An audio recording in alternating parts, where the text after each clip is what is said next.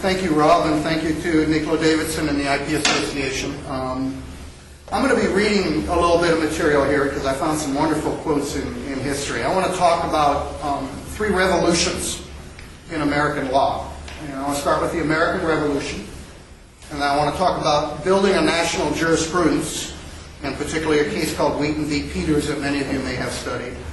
And then finally talk about liberating American law, which is my reason for being up here. I actually had come up to meet with Attorney General Kroger. He is unfortunately quite sick with the flu, um, was actually in the hospital. Um, and so I won't be meeting with him today, but I will be calling him on the phone next week. Um, so let me start with the American Revolution. And I actually want to start in England. On March 22nd in 1775, the Right Honorable Edmund Burke who's a leading member of the British Parliament, gave the speech of a lifetime. And the name of that speech was on conciliation with the colonies. And it was about why England should stop this silly war with America. And he gave six reasons. And they were good reasons. Reason number one was, you know, there's a couple million Americans, and that's an awful lot of people to beat into submission. Reason number two was they're on the other side of an ocean and it takes us a few months to get over there, and it's really hard to do a war when it takes three months to get an order transmitted. Reason number three was they're very clever, these Americans. They're making a lot of money, and if we weren't trying to beat them into submission, maybe we could make some of that money. And those were all very good, but the one I liked was reason number six. And he said, In no country, perhaps in the world, is a law so general a study the greater numbers of the deputies sent to the Congress were lawyers, but all who read, and most do read, endeavor to obtain some smattering in that science. Smattering is an old word that means to study, but not as a professional. So I'm a smatterer in the law because I don't have a license to practice. If you fix your own electrical system, you are smattering in electricity. And he remarked that so many people were smattering in the science of the law. And he gave two pieces of evidence. One was that as many copies of Blackstone's commentaries had been sold in America as were sold in England. Much bigger country. And the second was all the people in the government, America, are lawyers or smatterers in the law. And of course, in the English Parliament, they were not lawyers. The Right Honorable Edmund Burke was a lawyer. But most people were gentlemen. And they didn't work as lawyers or members of the bar. They were simply gentlemen and the effect of the fact that all these Americans were like looking at the law. And this was the corker, the end of, of his big speech. This study renders men acute, inquisitive, dexterous, prompt in attack, ready in defense, full of resources. In other countries, the people, more simple and of a less mercurial cast, judge of an ill principle in government only by an actual grievance. Here, they anticipate the evil and judge of the pressure of the grievance by the badness of the principle. They augur misgovernment at a distance and snuff the approach of tyranny in every tainted breeze. And so America's always had a, a very special commitment to making the law available. Uh, law has had a special place in our system of government, but it's been available more generally to the population.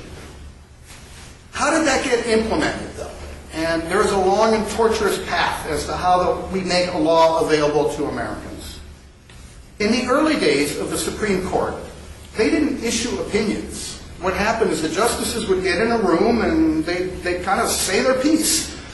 And there were no reporters and people didn't write these things down. And if you wanted to know what the Supreme Court had to say, you went and found somebody at a bar, and by a bar I mean a place they sell whiskey, and you asked them what the Supreme Court had to say. And so in 1791, the Supreme Court moved from New York to Philadelphia, the new seat of government. And there was a gentleman there named Alexander J. Dallas, who had, to supplement his income, taken it upon himself to report on all the local courts. And the Supreme Court moved into his jurisdiction, became a local court, and he started issuing the Dallas reports. Now, in the first year, the Supreme Court didn't actually do anything. And so if you look at one U.S. report, you'll see there's actually no Supreme Court opinions. in it. But Dallas, over time, went and began reporting, and he was a busy guy, and so he didn't make it every time. And he had to ask people what happened, and he wrote up reports, but there were two problems. He was really slow. It took him five years after the last case was decided for two Dallas before he actually issued the reports. And when he retired in 1800, it took him seven years to publish four Dallas the fourth volume of the U.S. reports. The other problem was the reports were notoriously inaccurate. They simply did not report what the courts had decided. So in 1800, the new government moved to Washington, D.C., and a guy named William Cranch had moved to D.C. He was a nephew of President John Adams, and he moved there for a real estate deal, a big speculation deal, and it went totally bust. And he had nothing to do, and so he needed a job. And so he took it upon himself to become a reporter of the Supreme Court of the United States. And he began issuing reports. Self-appointed. Nobody had appointed him to this job. And like Dallas, he was slow and he was inaccurate and the reports were expensive. And it was so bad that the Attorney General, who needed these precedents in order to argue, said that the reporter ought to be supplanted as some penalty for his inexcusable delays. And at that point, the Attorney General, Attorney General Rush, and Justice Story, who you may have read about, one of the, the real leaders of the founding of American jurisprudence, thought about a young New York lawyer named Henry Wheaton. And Henry Wheaton had made his name in New York by publishing the Digest of the Law of Maritime Captures and Prizes. And it was a beautiful scholarly work, and it was really well done. And so they went and they saw Wheaton and they convinced him to move to Washington, D.C. Now, Washington, D.C. in those days was described as a picture of sprawling aimlessness, confusion, inconvenience, and utter discomfort. Not that different from today. Um, the justices actually all roomed together in one rooming house and they took all their meals together because that was the only place they could find near their office. And so Wheaton became their roommate. Moved in with the Supreme Court, attended every single session, and from 1816 to 1827, he did an amazing job. His reports were accurate. He attended every session. He got the justices to give him their notes. His books were beautiful with lots of white space and beautiful bindings. Prepared abstracts and, and cross indices. Um, and he was timely. Within two months of the end of the 1816 term, he had his report ready to publish. He presided over what's known as the Golden Book of American Law. Cases like McCulloch v. Maryland, Gibbons v. Ogden, cases you've probably all read about. And he did it for 12 years. He was so effective that the Supreme Court urged and the Congress gave him a thousand bucks as a salary, but it wasn't really a salary because in return he also had to give 80 copies of each of his books to the government to use. And after about 12 years he resigned because he just wasn't making enough money. And he took a State Department post in Denmark at four times what he was making as a Supreme Court reporter. And so in 1828, the court appointed a guy named Richard Peters Jr. Now, unlike Wheaton, Peters was a businessman, right? Wasn't really a scholar of the law. And he wanted to make money at this. And so he did two things. He issued the annual reports. And they weren't as nice as the previous ones from Wheaton. The paper was cheaper, there weren't as big of margins, the binding wasn't as good, but they were cheaper to produce. And the Supreme Court liked that. He had a second component, though. In those days, if you wanted, even today, if you want to practice the law, you need everything, right? You need the full corpus. And if you wanted to buy the two volumes of Dallas, the nine volumes of Cranch, and the 12 volumes of Wheaton, that cost you $130. And in those days, most lawyers were making less than $100 a year. So this was expensive. So Peters had a scheme, and he proposed to publish the condensed reports of cases of the Supreme Court. And for 36 bucks, he promised you could get the entire back file. Get everything. 27% of the current price. The condensed reports wouldn't be nearly as nice, right? He was going to leave out the dissenting report um, opinions and the concurring opinions, and no abstracts, no arguments of counsel, no scholarly notes like Wheaton did, um, but they'd be cheap, six dollars a volume. And the justices were intent on building a national jurisprudence. They knew that lawyers had to have copies of the cases, and so they said, fine, go for it. The reporters, on the other hand, that had done the previous volumes weren't as impressed. Now, Dallas by this time was dead and his copyright had expired, so that wasn't a big deal for him. Cranch was a sitting judge in the District of Columbia by that time, and he was still out of pocket $1,000 for having produced the Cranch reports. That's how much he had lost on that enterprise. And he had hoped that over time more volumes of Cranch would sell and he'd make his money back. He ended up settling. And what happened is Peter said, okay, I'll give you 50 copies of each of the condensed reports and you can turn around and sell those. And so Cranch was eh, happy. Wheaton, on the other hand, was not happy at all because he was counting on the Wheaton reports to be his retirement fund. He was hoping these things would sell over time and he'd retire off that. Hadn't made him much money yet, but it was his nest egg.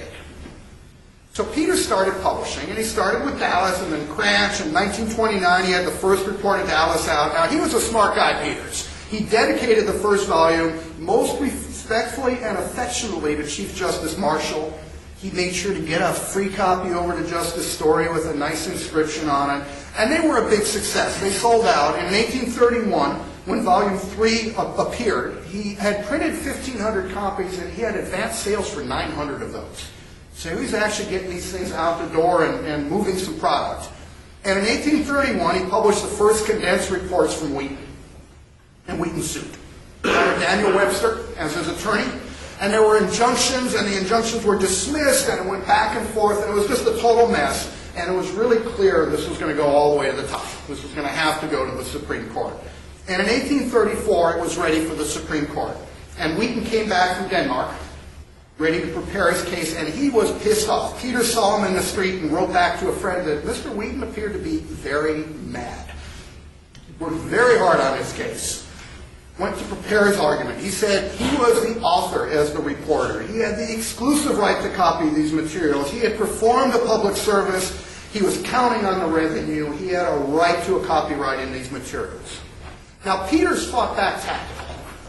He did a couple things. He said, well, first of all, Wheaton failed to properly secure his copyright by filing his copies. And so he tried a variety of administrative reasons. And then he advanced a novel argument. He said in his brief, it is therefore the true policy influenced by the essential spirit of government that laws of every description should be universally diffused to fetter or restrain their dissemination must be to counteract that policy. Now, the court really didn't want this case. Remember, they lived with these guys, right? Wheaton was their roommate. He was a buddy of Story's. And so, Justice Story, on March 18th in 1834, called all three of the living reporters into his chambers. Right? He called in Cranch and Wheaton and Peters, and he was very friendly, and he said he was acting entirely on his own hook. It wasn't the court. But he told the reporters that if the court were to rule on this, they would say there is no right of property in the opinions of the court.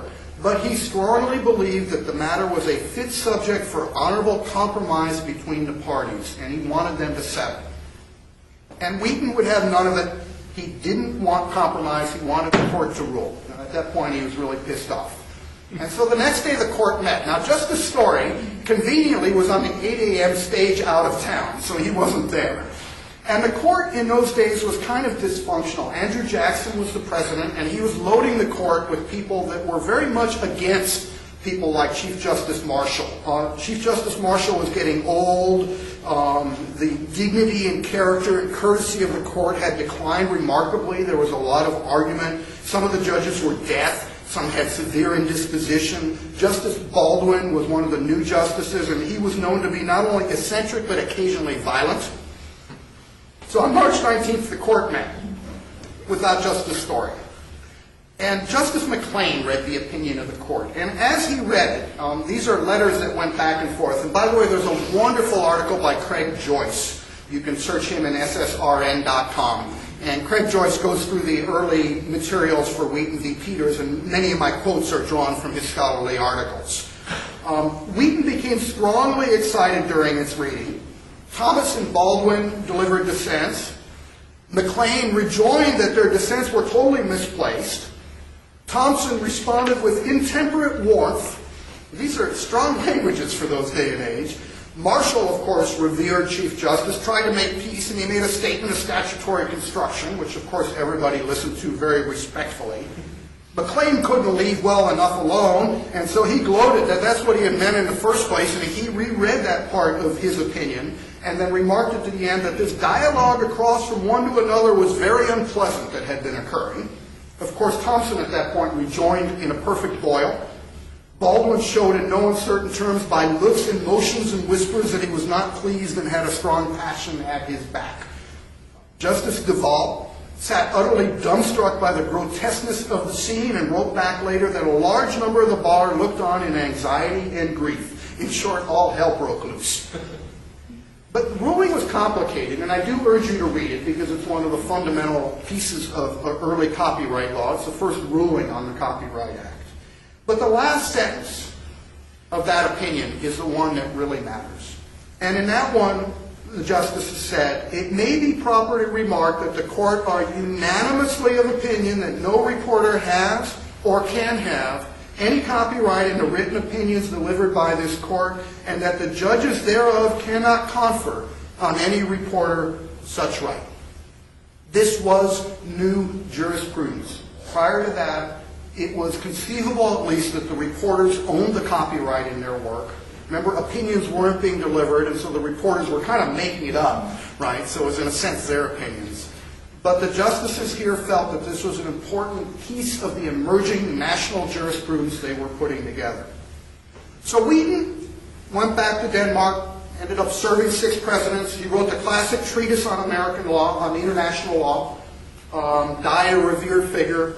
Uh, by 1843, the justices had had enough of the inaccuracies of Peter, and they summarily fired him.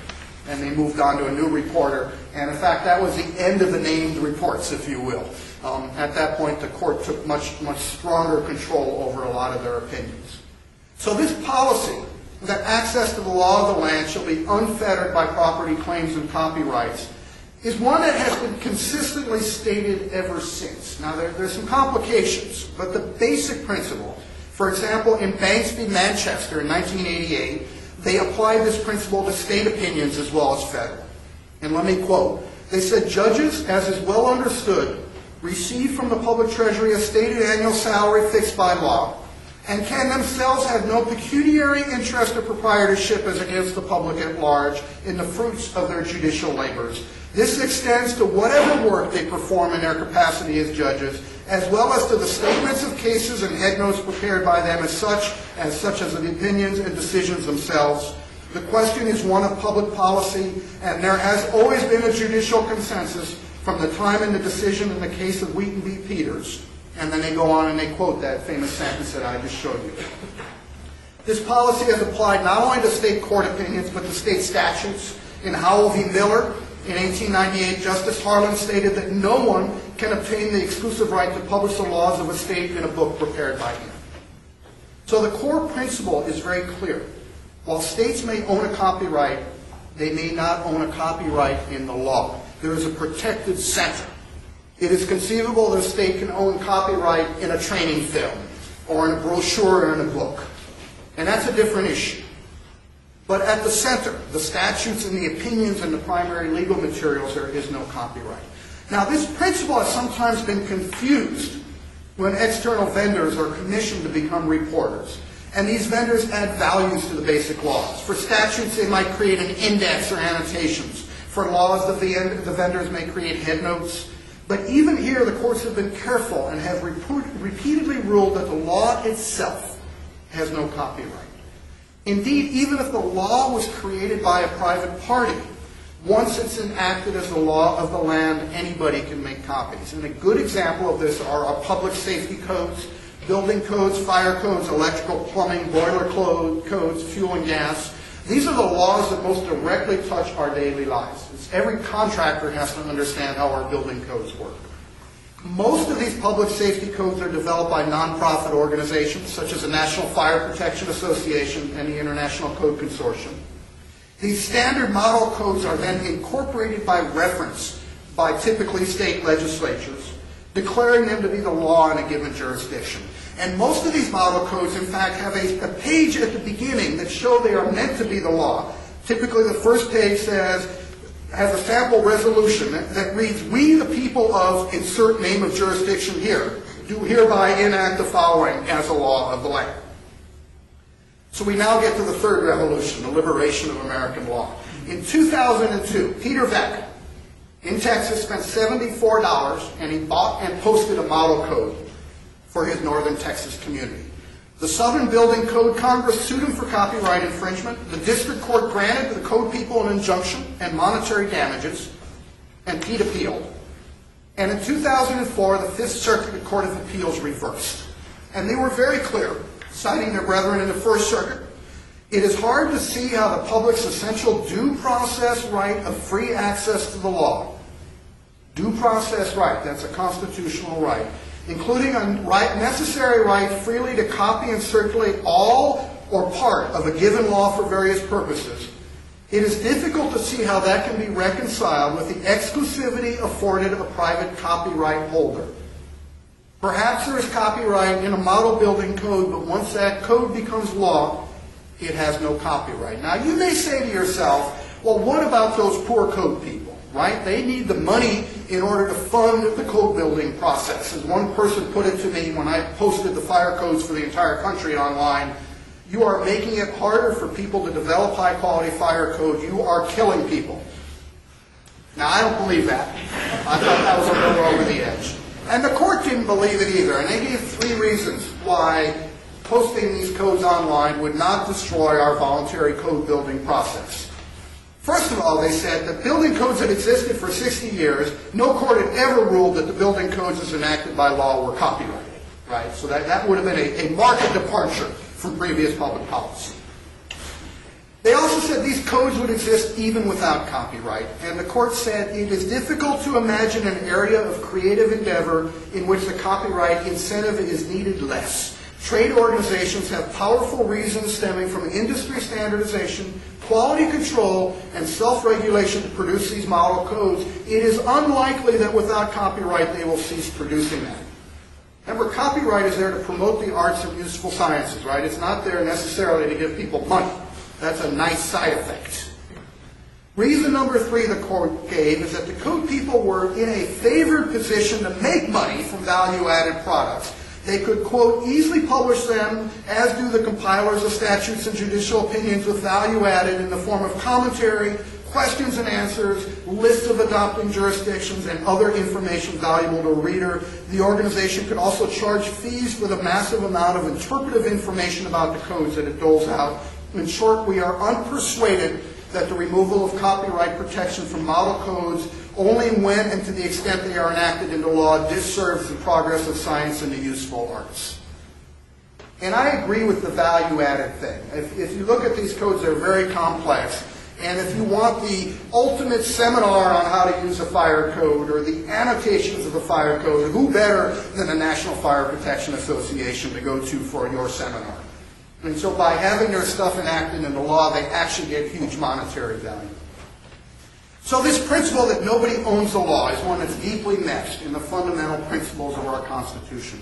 I mean, seriously, when we say we are a nation of laws, not of men, it means that we print down what we do. We don't arbitrarily rule.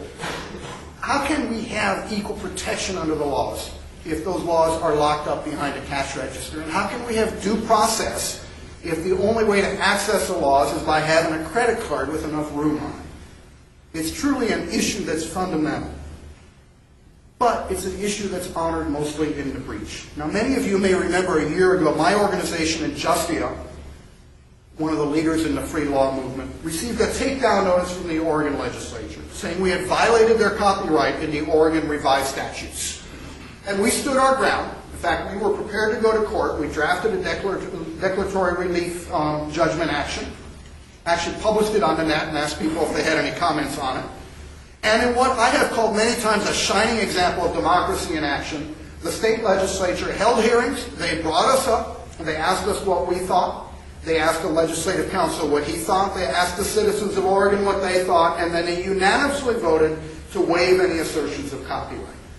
So they did not say we do not have the right to make copyright. They simply said if, we have the right to copyright, we're just not going to enforce it.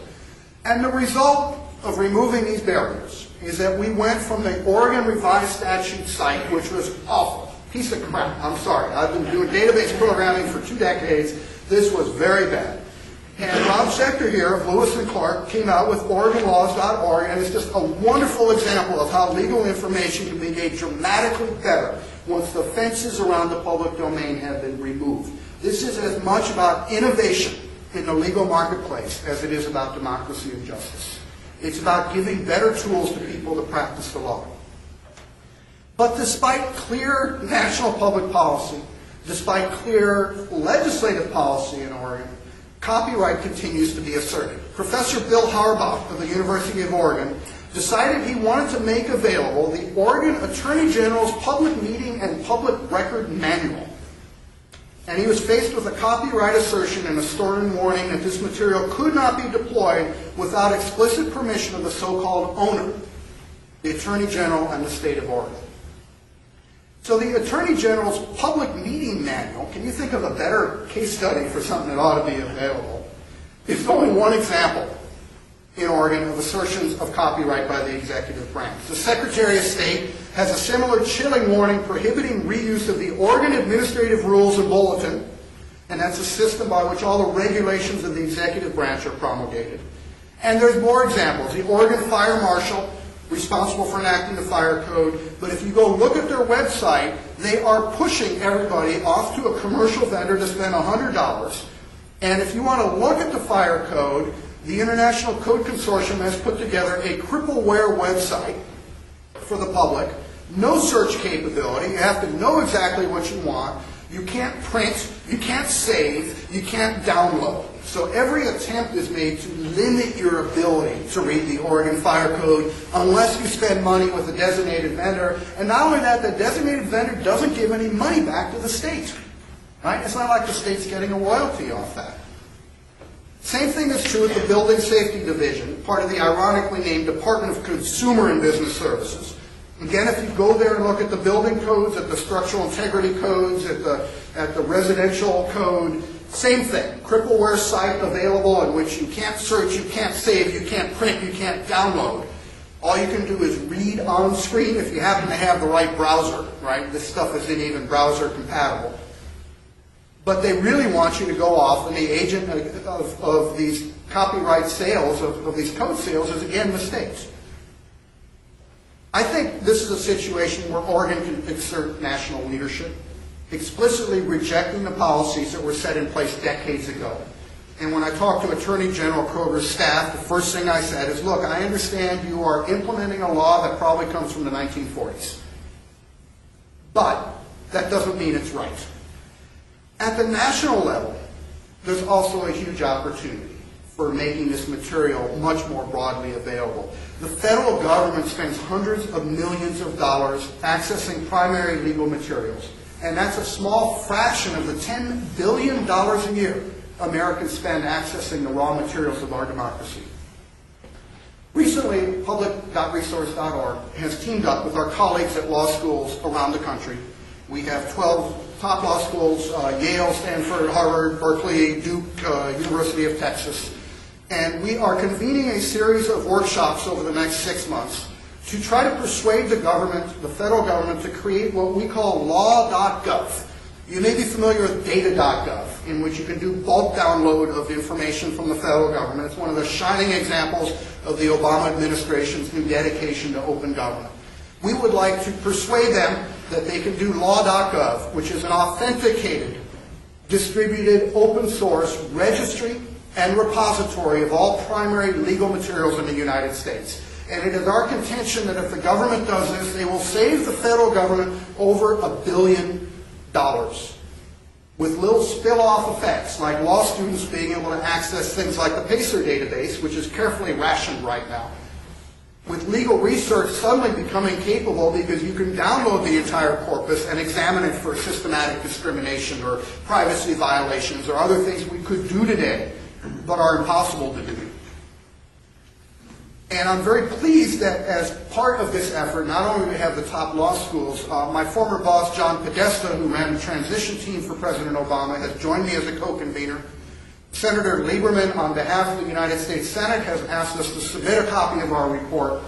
Um, I've been discussing this with many agency heads and people in Congress, and I think we have a shot at least at preparing a report with sample enabling legislation, a bill of materials that explains exactly what we mean by primary materials, a business plan, and all the materials needed to present this to the President, to the Chief Justice, to the Congress, and convince them that this is something they can add as a function of government. And our vision is that this is based on open source software, so any state can download the software and run their own registry of primary legal materials. Now here in Oregon,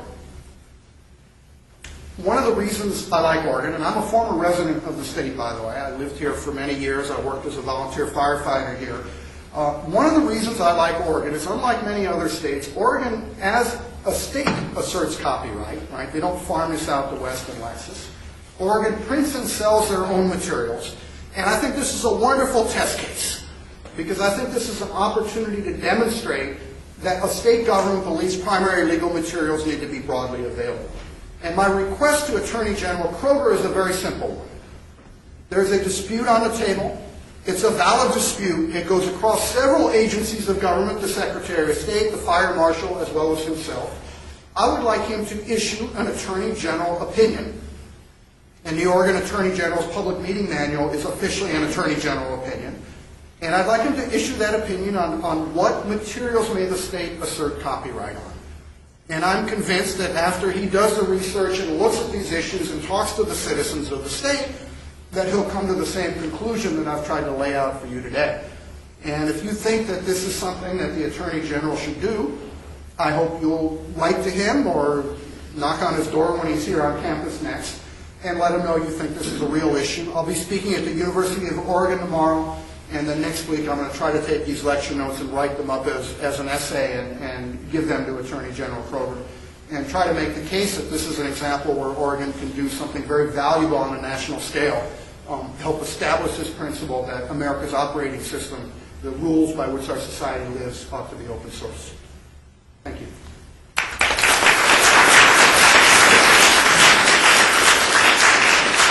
Time for uh, questions. I think we have 20 minutes. Happy to entertain any questions. Yes. So, in reading reading the years, I, I noticed that they basically argued that court, court opinions were not covered because, look, statutes aren't subject to copyright. And no one's ever tried to search that, you know, copyright on statutory codes. That's just, that's just silly. And both sides tried to argue this. You know, the plaintiff tried to say, well, it is very much, you know, it's not at all anything like statutes, court opinions. And defendants are like, oh, no, no, no. It's exactly like the statute. And but now we have over half the states copyrighted statutes, which I find very interesting. When when did that tide turn?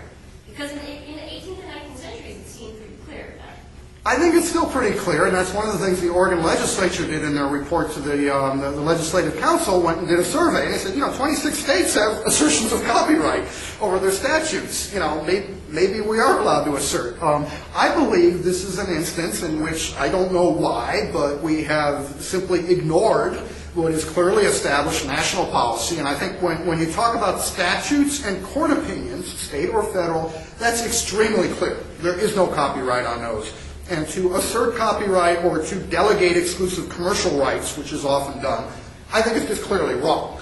Um, I think when you get to an attorney general opinion, which is viewed with great deference by the courts but is not necessarily the law, I think that's on the edge of that cloud of primary legal materials. But I think with state statutes, that's very clear. And I've actually been working with EFF, who represents me, and I've been talking to the ACLU and others, and we are looking for our test case. We thought we had it in Oregon, but uh, Oregon did the right thing, and we'd always rather settle and simply resolve the situation. Um, so we are actually looking around and trying to decide which of the states is likely. See, one of the issues is I can't go into court and sue the state of Mississippi for a copyright assertion if there is no threat, right? If there, there's no real dispute. And so when Oregon sent us a takedown notice, we said this is good, um, which is why, again, Oregon sent a takedown notice on the Oregon Attorney General's public meeting manual. That seemed like an opportunity to press the issue a little bit more. But on the state statutes, I, just don't think anybody can read the laws, uh, the, court cases, and, say that there's any sustainable copyright interest. But it's, it's got a huge chilling effect, right? When you see that copyright notice as a businessman, you're not going to take that stuff. And it's a huge issue for those of us working in the open law movement because we want to take statutes from all 50 states. And I can't go clear copyright, right, with 50 different states and, you know, sub-agencies, and it just makes it impractical to build that national collection of the law. And that's something that public policy argues we should have. Hi, can you talk about PACER a little bit and the GPO sort of half step, a trial balloon making PACER available through um, repository libraries? Yes, so um, You might describe it, Kate, just sort of briefly for those who Uh, So PACER is the district court dockets and opinions. Um, It's for all our federal trial courts. It costs eight cents a page to access. If you are a law student, you probably don't have access to Pacer because the law library doesn't want to spend money on you. Um. So, um, Pacer is eight cents a page. The, um, the Administrative Office of the Courts is bringing in uh, $100 million a year in Pacer revenue at this point. It's, it's big business for them. Um, We believe they are charging more than their actual cost of dissemination, and Senator Lieberman sent them a note um, about that. And they ended up with a um, judiciary IT revolving fund that had $150 million in it. And the House Appropriations Committee said, what are you doing with all that money? What about broader public access? And so the Administrative Office of the Courts with the Government Printing Office came up with a first step, which is they would do a public access program in 17 specific libraries to see, quote, whether members of the public had any desire to look at this material. There's a feeling in the Administrative Office of the Courts that the only people who care are pro se prisoners. And there is a fee waiver for, for prisoners and people representing themselves to get free PACER. But the idea is that normal people just have no interest in this stuff. So they put these 17 test sites out there. Now that's one library for every 20,000 square miles in the United States. So it's not necessarily one right next door. I think your closest one was Sacramento. Um, and they ran this for a few years. Now I had a PACER recycling site that was up, pacer.resource.org in which I encouraged people, what I call the thumbnail, um, the thumb drive corps, to go to these public access sites and download some documents and upload them to my system, and we make them available for everyone. Recycle your Pacer docs, help serve, save the public domain. Young gentleman looked at that and took it to heart, and he used the Sacramento Public Library to start downloading documents. And about a month later, when the courts woke up and finally looked at their access logs, they noticed that the biggest user in the nation was now the Sacramento Public Library, and he had brought in 20 million pages. Um, and they promptly canceled the entire program. No notice whatsoever, no explanation. Canceled an entire national program. Uh, they called the FBI and sent them off after this gentleman. Now, I had the data because he uploaded it to my system, and we audited that data for privacy violations, found numerous social security numbers, huge number. I'm talking like a 100-page document in a medical malpractice suit that had all the patients for that doctor, 400 patients, name, home address, social security number, age, and medical and psychological problems. All listed, all perfectly available to the public and this was on West, it was on Lexis, it was on Pacer, right? So this was not private information at this point. We did a full audit, sent it to Judge Rosenthal, 150-page document, complete with a DVD that had the redacted and the unredacted documents, and a handy little HTML page so you can compare them.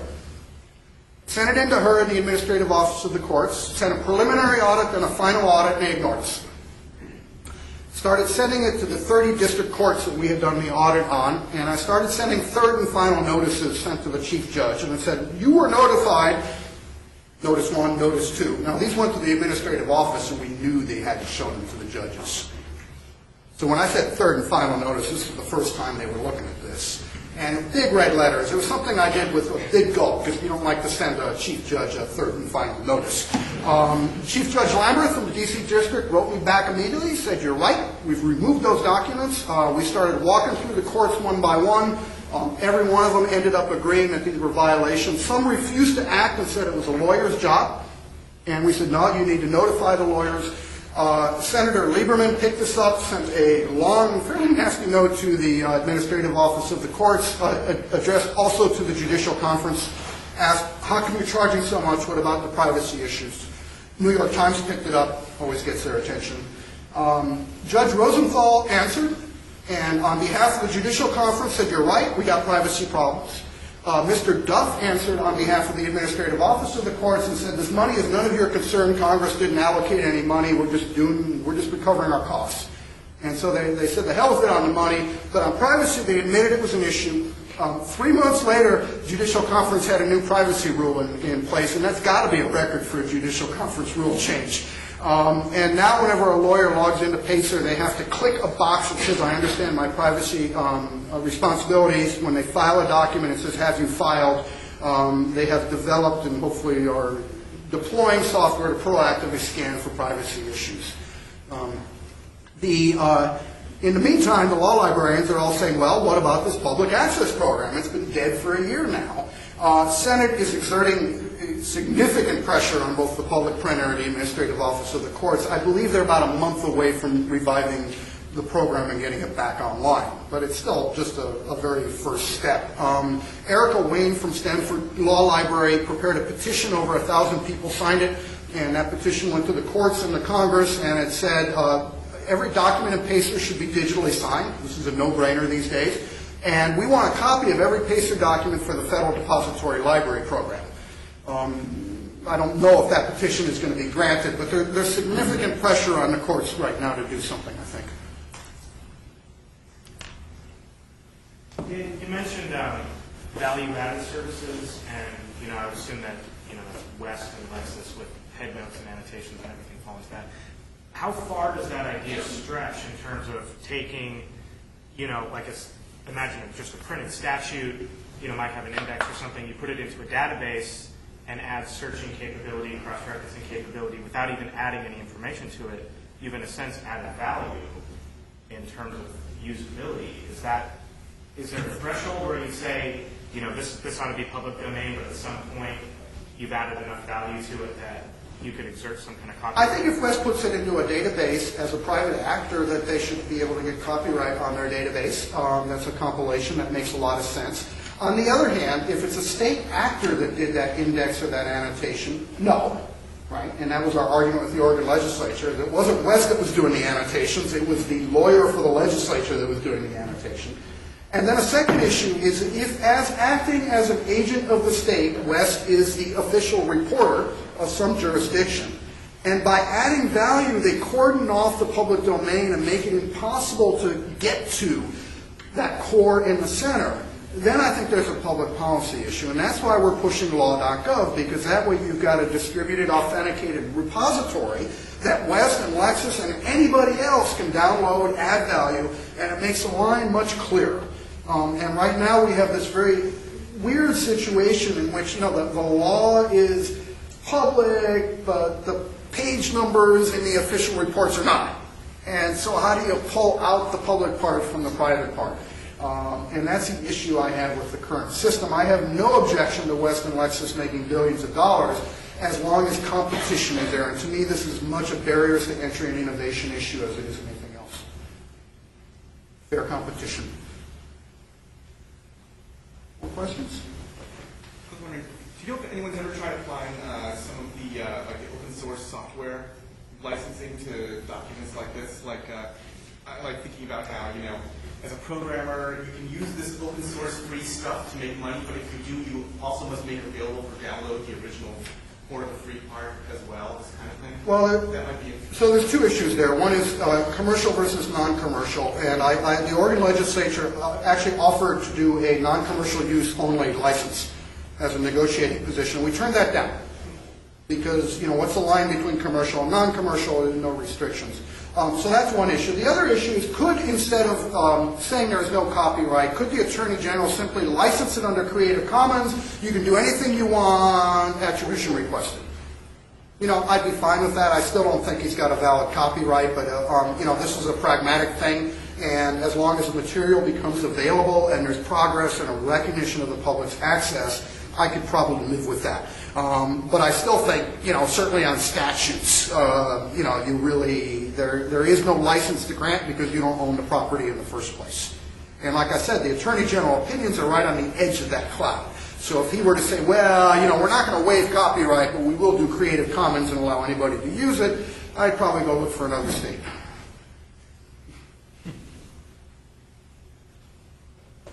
Okay, thank you very much.